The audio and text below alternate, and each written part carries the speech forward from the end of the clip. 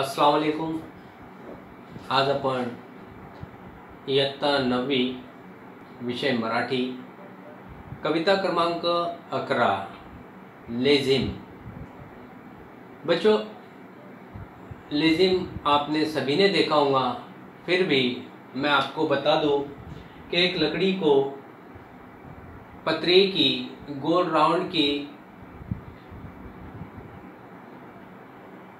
गोल round के पतरे लगे हुए होते हैं और यहाँ पर लकड़ी होने की वजह से, वो जो है खींचने की वजह से आवाज़ करते हैं।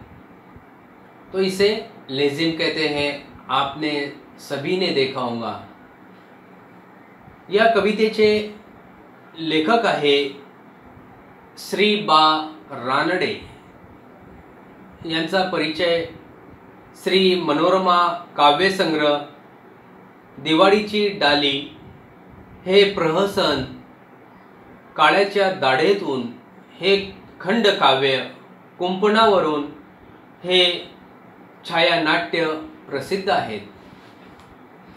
सुगीच्या दिवसात शेतामधील धान्याच्या राशी पाहून शेतकऱ्यांची मने प्रफुल्लित होतात आणि तो आनंद लेझिम खेळून शेतकरी व्यक्त करतात.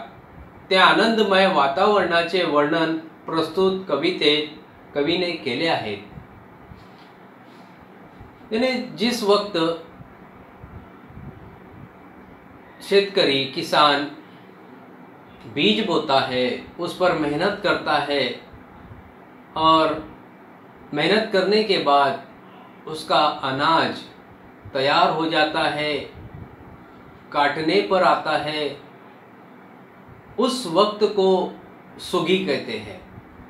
और इस फ़सल को देखकर किसान बहुत खुश होता है और अपनी खुशी का इजहार लेजिम खेलकर, डफ के ताल पर नाचकर वो व्यक्त करता है। हम देखते हैं की दिवस सुगीचे सुरू झाले ओला चारा बैल माजले, शेतकरी मन प्रफुल्ल झाले. छन खड खड छन, ढुम, पट ढुम, लेझिम चाले जोरात. यानी कवि कहते हैं कि सुगी का मैंने आपको बताया, सुगी किसे कहते हैं कि फ़सल तैयार हो जाती है, उसे सुगी कहते हैं। तो वो दिन आ जाता है।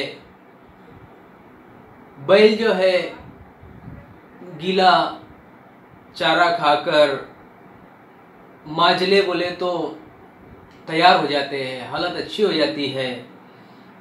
और किसानों का जो मन है, दिल है, वो प्रफुल्लित होता है, खुशी महसूस करता है।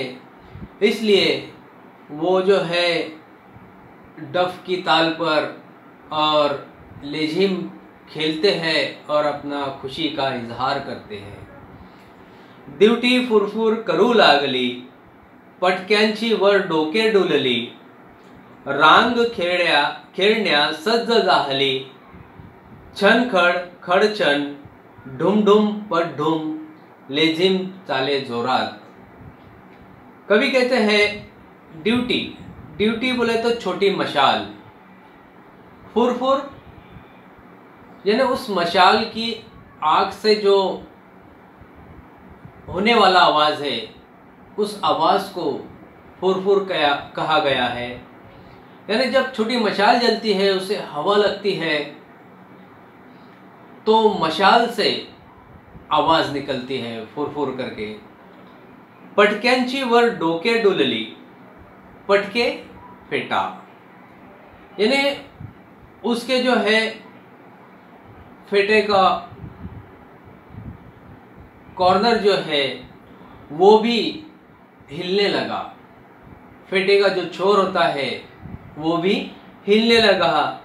रांग खेड़न्या सज्ज झाली रांग बोले तो कतार, लाइन। और खेलने के लिए तैयार है। और जाहली बोले तो तैयार। यानी लेजिम खेलने के लिए कतार तैयार है और फिर वो जो है उसी डफ की ताल पर और लेजिम के आवाज़ पर वो जो है लेजिम खेलते हैं, अपनी खुशी का इजहार करते हैं। भर भर डफ तो बोले गुमुनी, डफ डफ बोले तो डफली। यानी चमड़े से बनी हुई वाद्य, यानी डफली तो वो किससे बनी होती है? चमड़े से बनी होती है। लेझिम चाले मंडल धरुनी, बाजूस मागे पुढे वाकुनी। छन खड़खड़ छन, ढुम ढुम पट ढुम लेजिम चाले जोरात। यानी कवि कह रहे हैं कि इस चमड़े के बने हुए डब से लोग जो है, ये सॉरी किसान जो है, ये मंडल बोले तो गोलाकार, गोलाई करना। यानी गोल कतार में जो है, वो लेजिम खेल रहे हैं। आगे से, पीछे पीछे से, बाजू, इस तरीके से वो इस लेजिम को खेलते हुए अपना खुशी का इजहार कर रहे हैं।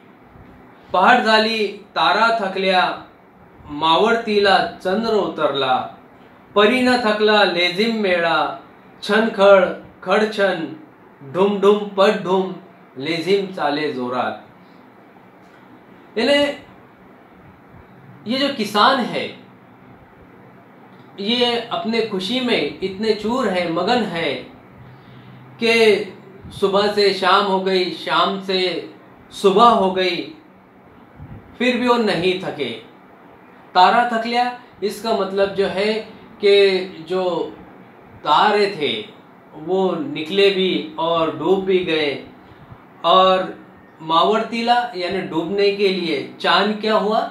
डूबने पर आ गया। फिर भी ये जो किसान है, ये नहीं थके। और उनका लेजिम का जो राउंड था, ज़ोर था, जोश था, वो आखिरी तक शुरू रहा और उन्होंने जो है अपना खुशी का इजहार बहुत ही अच्छे से किया और जिस वक्त इनका सुगी का दिन आता है, फ़सल काटने का टाइम आता है तो इन्हें बहुत ही खुशी महसूस होती है कि इन्हें जो है जिस तरीके से आप लोग किसी आठवीं क्लास में हो, नवीं क्लास में हो और आपका रिज़ल्ट जब आने वाला होता है और रिज़ल्ट आपके हाथ में होता है और आप पास हो जाते हैं तो आपका खुशी, आपकी खुशी जो है, वो बहुत ज़्यादा होती है। ना जाने किसे फ़ोन करके बताऊँ, ना जाने कब मैं घर पहुँचूँ, मेरे वालदेन को बताऊँ। तो ये जो खुशी होती है, ये किसानों की भी इस तरीके से फ़सल काटने, फ़सल तैयार होने के वक्त होती है। बच्चों, इसे एक बार दो बार बगौर सुने। अल्लाह हाफिज़।